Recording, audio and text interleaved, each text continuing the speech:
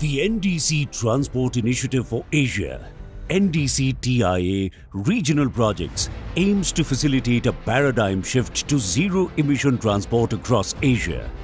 The program is supporting India, China, and Vietnam to develop comprehensive decarbonization strategies and solutions to implement. Beyond the three countries, on the regional and global level, the program has been able to maximize impact by extending support to additional countries in Southeast Asia, sharing lessons learned, increasing discourse on decarbonizing transport and promoting efficient, multi-stakeholder approaches coordinated between government ministries, civil society and the private sector. These approaches included creating regulations and technical standards to promote electric vehicles and other low-carbon transport technologies, enhancing fuel economy and greenhouse gas regulations, adopting measures that enable a switch to low-carbon fuels from renewable energy, building capacities in greenhouse gas modeling for transport, and assessing best practices for financing climate actions in transport. The NDC Transport Initiative for Asia was set up to promote the goal of a zero emission transport system. At the time, India, China, and Vietnam did not yet have a zero emission target in place. So we wanted to create a project that would tap into this huge mitigation potential by outlining the pathways towards zero emission transport and supporting the policy instruments to get there. The project was very successful. By focusing on electric mobility deployment, we were able to contribute to the fast e-mobility uptake in India. At the heart of it all is our close collaboration with Niti Aayog. As GIZ, we believe that for the transformative change that we need, we can only achieve that with a multi-stakeholder approach and bring everyone on board. Through the project, we were able to bring together close to 2,000 stakeholders under the Forum for Decarbonizing Transport in India, which was spearheaded by Niti Aayog. Through these discussions, combined with the technical studies provided by the project, we were able to contribute to the development of policy in India. For instance, GIZ's work on integration of renewable energies and charging infrastructure into the electricity grid are currently guiding a national task force on the development of a roadmap for charging infrastructure. And I would like to thank the International Climate Initiative of the German government for providing the funding for this project, without which none of this would have been possible. Germany is a key partner to India's efforts to cut carbon emissions and achieve net zero targets by 2070. The Indo German Green and Sustainable Development Partnership, the GSDP, plays a very crucial role in cooperating for Germany with India towards this shift towards a low carbon, climate resilient future through knowledge sharing, capacity building, policy support, technology transfer, but also through financial cooperation and project implementations. The NDC-TIA regional project is part of the International Climate Initiative, the ICI, which is commissioned by the federal, the German Federal Ministry for Economic Affairs and Climate Action, the BMWK, in collaboration with the German Federal Ministry of Environment and our Federal Foreign Office we at GIZ India, we work closely with Indian policymakers to develop and implement climate policies and regulations through different projects on sustainable urban mobility, which includes uh, e-mobility, for example, and also through other transport initiatives. The NDC-TIA India project, implemented by GIZ, it aims to support the Government of India in achieving its climate goals, particularly in the transport sector. It is by fostering a sustainable and low carbon transport system. German Federal Ministry for Economic Affairs and Climate Action leading this initiative under the International Climate Initiative IKI along with Niti Aayog as the key partners. Now Niti Aayog is the key implementation partner from the government of India.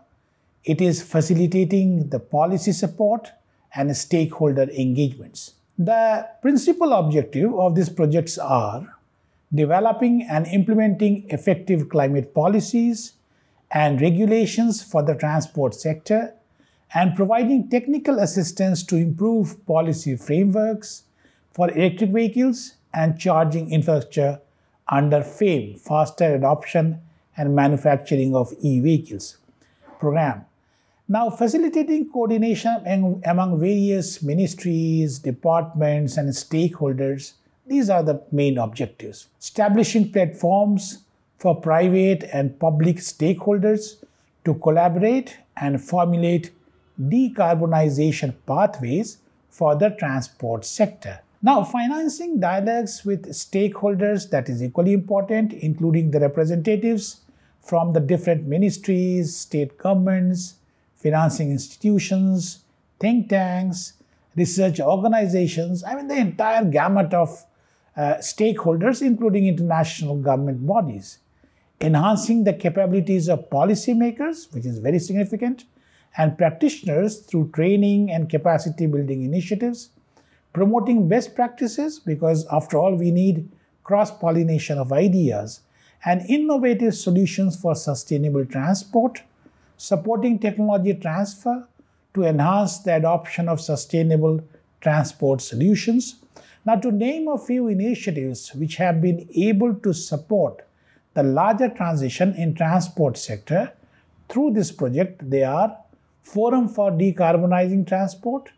The project has achieved various significant milestones, such as at the national level, Stakeholder Platform Forum for Decarbonizing Transport. Now, this forum has brought together 1800 plus stakeholders. They have developed 65 plus technical articles, blogs, 12 plus knowledge products they are involved, and 23 plus working papers, 12 plus uh, technical reports across 42, which is a sizable number, 42 thematic dialogues. Now, through Uddeshya, which is another initiative, Uddeshya NDC TIA has strengthened gender responsive approaches to bridge the gap between communities and decision makers. Digital library, yes, that is very, very relevant these days. On green mobility, this exemplary digital library and knowledge hub initiative, it has attracted global researchers and professionals to utilize technical resource material in enhancing capabilities and capacities and knowledge. Switch Delhi campaign awareness becomes very, very significant. So the working group partners supported the Delhi government in organizing this campaign to accelerate the adoption of EVs in the state through these efforts, the Delhi EV cell increased EV cells by almost 15%, which is a sizable percentage, which is a sizable increase from February 2021 to March 2023. Increased subsidies for E3 wheelers provided input that led to the increase in Delhi government subsidy for electric three wheelers from INR 30,000 to over you know 55,000. NDC analysis of G20 countries, that was again a major initiative. As part of this project, an analysis of the nationally determined contributions of G20 countries on the decarbonization of transport sector that was performed. The success achieved has indeed paved the way to reach the outcomes from the NDC TIA project of formulating pathways for decarbonizing transport in India based on technical assistance and improving the policy and procurement frameworks for EVs and charging infrastructure. So, as we see, the success achieved has indeed paved the way to reach the outcomes from the NDCTIA project of formulating pathways for decarbonizing transport in India based on technical assistance and improving the policy and procurement frameworks for EVs and charging infrastructure. So it's time for me, ladies and gentlemen, to compliment GIZ, all their partners in this NDCTIA initiative, and I am extremely hopeful, hopeful that the version 2, the NDCTIA 2 that we will be launching very soon, that would be all the more impactful. So congratulations and compliments to GIZ. As part of the NDCTIA India component, GIZ focused on various critical areas of electric mobility and initiated dialogues with international finance institutions to finance climate actions in transport. We performed a status quo analysis on different EV segments in India for electric two and three wheelers, cars, trucks, and buses. GIZ, with the support of the working group partners and key stakeholders, both public and private, in the sector identified various gaps and challenges in the adoption of EVs in India. Additionally, the NDCTI and e-mobility projects are jointly supporting the development of an EV charging infrastructure roadmap. as part of the EV task force under the Viksit Bharat Vision 2047, created by the Ministry of Heavy Industries. Fossil fuel consumption is a major contributor to greenhouse gas emissions. Decarbonization of the transport sector will help India to reduce its carbon footprints and meet its climate goals. Besides this, decarbonization will also benefit India in many ways, including improved air quality, reduction in oil imports, economic growth, and improved energy efficiency. The NDC-TIA was one of the first initiatives to bring together the government and the industry stakeholders together. It's in fact one of the first platforms to chart the pathway for decarbonization, specifically for the transport sector in India. The forum, which was under the aegis of the NDC-TIA initiative, has been able to bring together various stakeholders, including research organizations, government stakeholders and industry bodies to really think about what is the pathways for India to decarbonize. It has taken India at global platforms like ITF, at UMI, at IEA, at transforming transportation and multiple events including clean energy ministerial to really talk about india's achievement and pathways towards decarbonization as part of the ndctia WRI India undertook a series of initiatives to promote charging infrastructure both at the national and at the regional level. WRI India's research and analysis informed the draft battery swapping policy developed by Niti Aayog in 2022. At the regional level, WRI India worked with the Dialogue and uh, Development Commission of Delhi to release a series of uh, charging guidebooks for residential, office, and commercial charging use cases. The NDC-TIA has been instrumental in bringing a gender and just transition perspective to the decarbonization uh, conversations happening in India. Uh, as WRI, we've been working on various aspects under this umbrella. Uh, first one is the Fare Free Public Transport Working Paper, on uh, on the fare free system of uh, Delhi, uh, which has been one of the pioneer states in providing free public transport system for women, which was followed by multiple states. we looked at the impact of free public transport on women's access to mobility, their savings and spendings. And the second uh, working paper that we worked on was uh, looking at uh, the uh, uh, female labor force participation in the EV ecosystem in India. So we looked at some deliberate strategies undertaken by up and coming EV startups and industries in India and and also try to assess how these can be scaled up to make this transition into electric mobility a just transition. ITF is delighted to have been a part of the NDCTIA for the last four years. It's been a privilege to work with the six other partner organizations and with Aayog um, in a deeper capacity over this project. Working as part of this consortium has been an incredible opportunity to build connections and collaborate with so many organizations in India and the region. Our work in India has primarily focused on improving capacities for data collection, processing, and modeling, as well as facilitating knowledge exchange and policy dialogues. The ITF also developed two technical studies. The first one focused on the Indian passenger transport sector and was developed uh, together with the World Bank. It emphasized that the Indian cities should focus on a transition from private vehicles to public transport, uh, particularly electric buses, which were um, which are powered by renewable energy while using a life cycle assessment to inform policy and investment decisions. The second technical study focused on the freight sector in India and was developed together with the Institute of uh, Transportation Studies at UC Davis.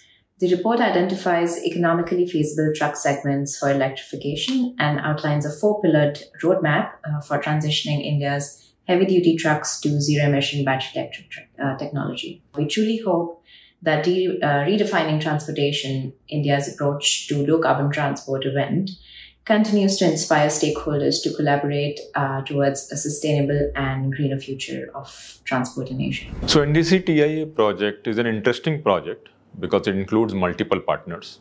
And these partners are not only India but outside India as well. And one of the important takeaway of this project was collaboration.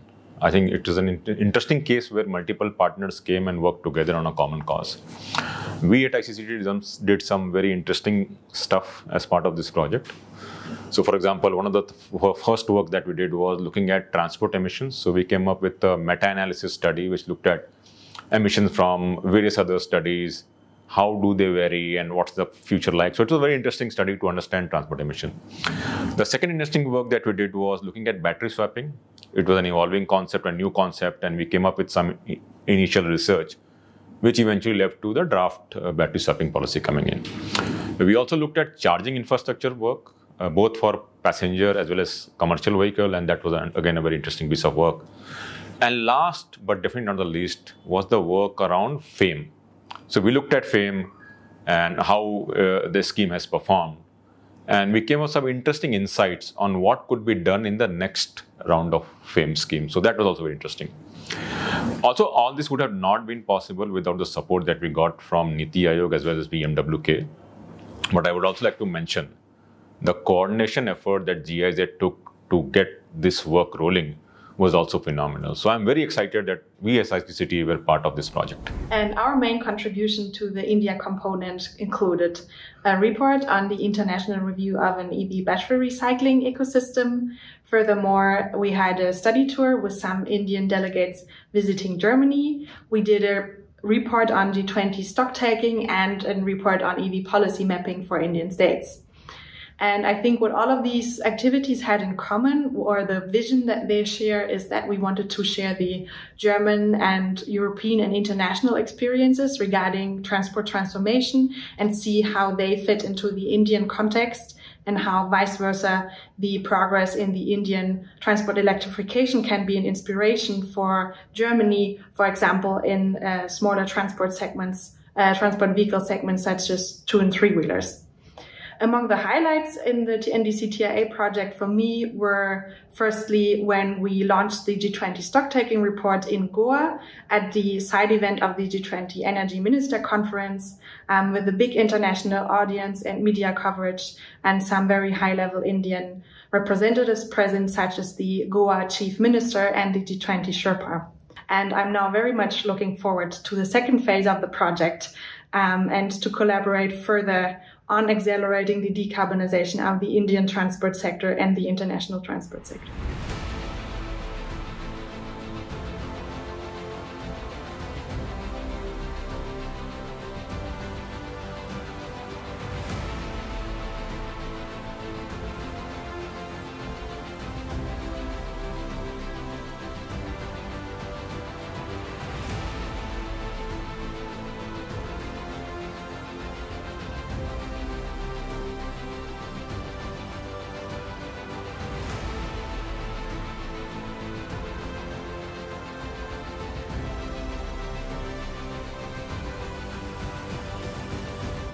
India's transport sector, the third largest GHG emitter at 30%, has seen emissions more than triple since 1990.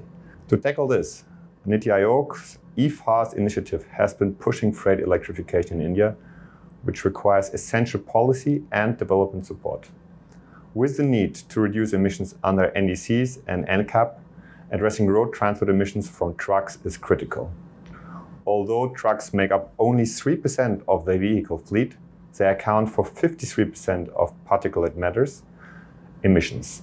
In NDC TIA's second phase, the focus is on freight transport and commercial vehicles, aiming to improve the knowledge base and framework conditions for medium and heavy commercial vehicles through gender responsive planning. Phase 2 will promote truck electrification engage stakeholders, develop a data repository for freight transport analytics, piloting uh, zero emission trucks, build capacities and demonstrate the feasibility of e-truck operations, crucial for reducing greenhouse gas emissions and enhancing energy security.